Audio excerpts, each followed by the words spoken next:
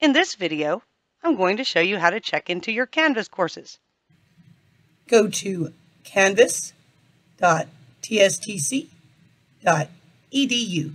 This will bring you to your Canvas dashboard. You should be able to view all of the courses for which you are enrolled. Please be advised that you must check in to every single course in which you are enrolled.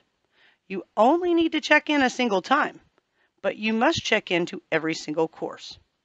Find the course that you need to check into, click it, and this should load the home page of the course.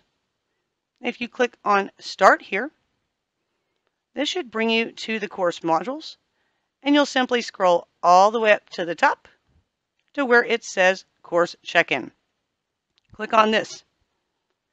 Once you do, this is going to provide you with a timestamp of the date and time in which you checked in. Your instructor should be able to see this, and so should your enrollment coach. And you should only have to do this a single time.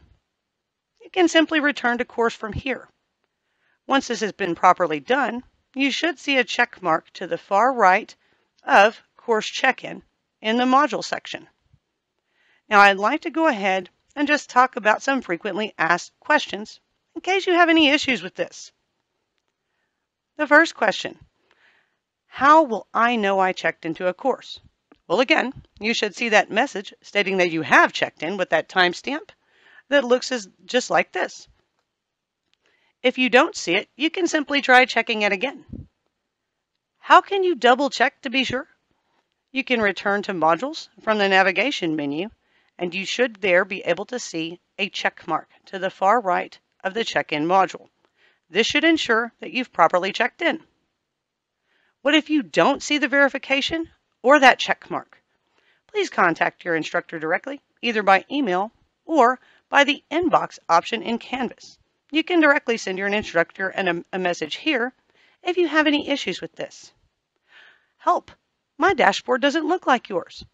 You can change your dashboard view by tapping, clicking the top three little dots in the far right hand corner and selecting card view. What do I do and who do I contact if I can't log into the TSTC portal? Please contact the help desk. Please reach out if you have any questions. We are always happy to help. Thanks.